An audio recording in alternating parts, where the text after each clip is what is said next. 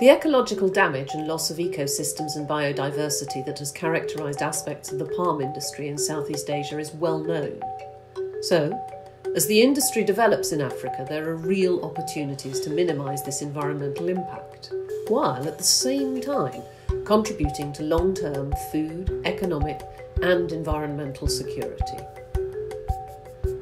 We are working on this with scientists in West and South Africa, and this is what we want to tell you about. These scientists have a wide range of different expertise, which means problems can be approached from different directions, producing imaginative and sometimes surprising solutions.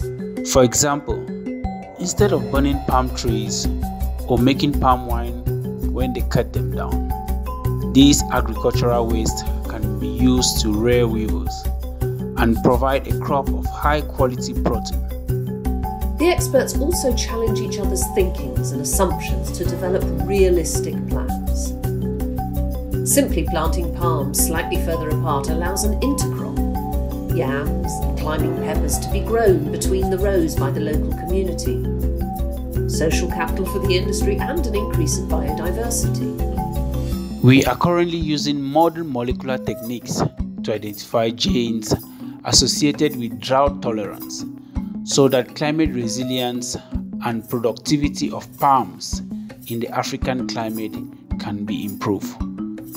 For such initiatives to be successful, we need to demonstrate the economic, environmental, and social benefits of novel systems, and a wide range of stakeholders must engage and contribute their expertise We've already been successful raising specific funding and are now applying for transdisciplinary grants as well as widening our stakeholder base. If you would like more details about this project or news from this consortium, please click here to register your interest. We look, look forward, forward, to hearing from you.